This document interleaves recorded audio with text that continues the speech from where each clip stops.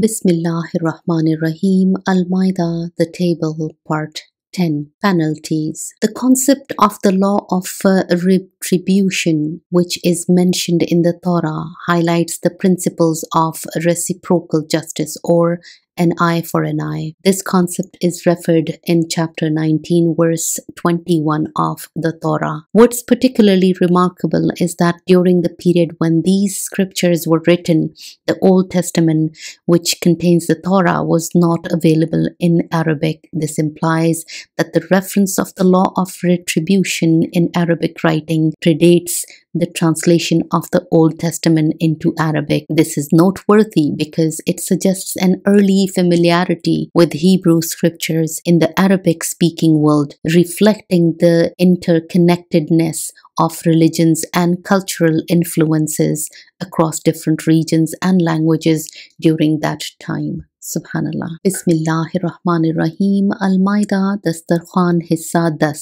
سزائیں۔ انتقام کے قانون کا تصور جس کا تورات میں ذکر ہے، باہمی انصاف یا آنکھ کے بدلے آنکھ کے اصول کو نمایاں کرتا ہے۔ اس تصور کا حوالہ تورات کے باب انیس آیت اکیس میں دیا گیا ہے۔ خاص طور پر قابل ذکر بات یہ ہے کہ جس دور میں یہ صحیفے لکھے گئے عہد نامہ قدیم جو تورات پر مشتمل ہے، عربی میں دستیاب نہیں تھا۔ اس کا مطلب یہ ہے کہ عربی تحریروں میں انتقام کے قانون کا حوالہ پرانے عہد نامے کے عربی میں ترجمے سے پہلے موجود ہے۔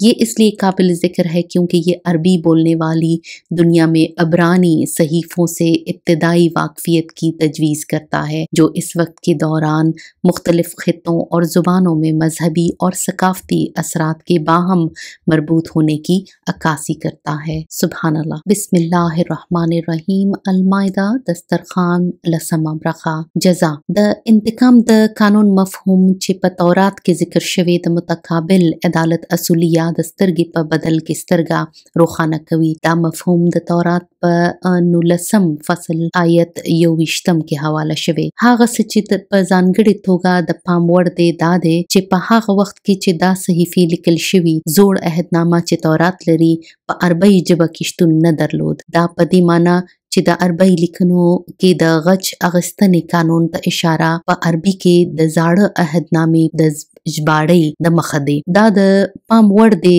ځکه چې دا د عربي ژبې په نړۍ کې د عبراني صحیفو سره د لومړۍ پیژندګلوۍ وړاندیز کوي چې د هغه وخت په اوجدو کې په مختلفو سیمو او ژبو کې د مذهبي او کلتوري اغیزو یو بل سره تړاو منعکس کوي. سبحان الله